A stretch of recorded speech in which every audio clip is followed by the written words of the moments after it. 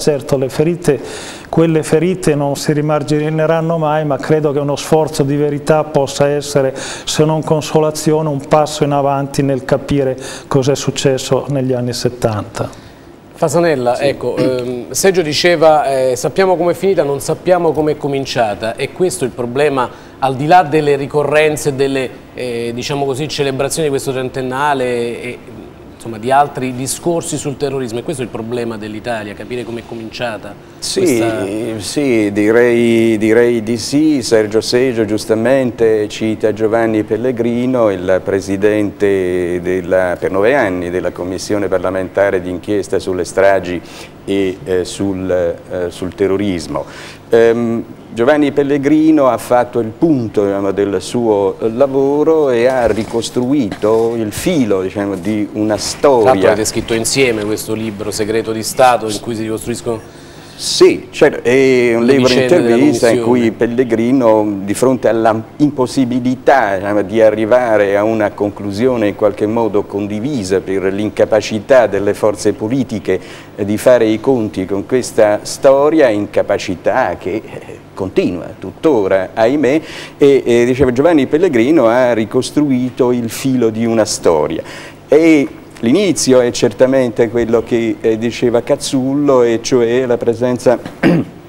di un'anomalia in Italia, e cioè il più forte partito comunista del, eh, dell'Occidente in un paese libero, collocato diciamo, in un sistema di alleanze politico-militare occidentale che però aveva eh, rapporti, legami finanziari, politici, ideologici con, eh, con il nemico e cioè con il mondo sovietico. Eh, però io completerei diciamo, questo, uh, questo, ragionamento dicendo, eh, Cazzullo prima diceva non ci sarebbero stati gli anni 70, gli anni di piombo se non ci fosse stata questa anomalia. Io aggiungerei non ci sarebbero stati gli anni 70, gli anni di piombo se non ci fosse stato anche il tentativo del Partito Comunista di Enrico Berlinguer di emanciparsi da quella storia, di emanciparsi dai suoi legami con il mondo sovietico e di diventare una, uh, una forza uh, del socialismo europeo.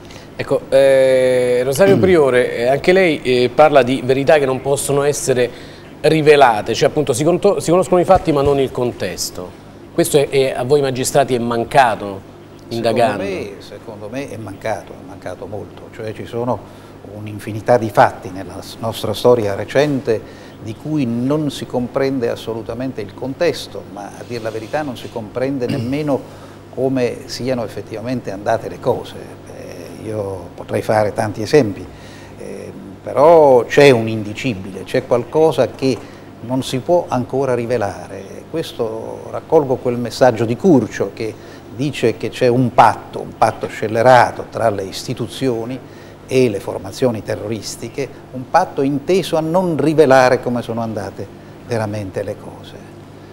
questo io, questa affermazione ho, potuto, ho, avuto modo di, in un certo senso, di eh, verificarla sul campo. Verificarla sul campo, verificarla su episodi come Ustica, come Moro, come la strage di Bologna, tutte le stragi c'è dietro un qualcosa che non si riesce a rivelare e non si riesce a rivelare quello che sanno le istituzioni, questa è la cosa più grave. Le istituzioni sanno come sono andate le cose, come si sono svolti i fatti, quali erano i mandanti, ma nessuno può parlarne.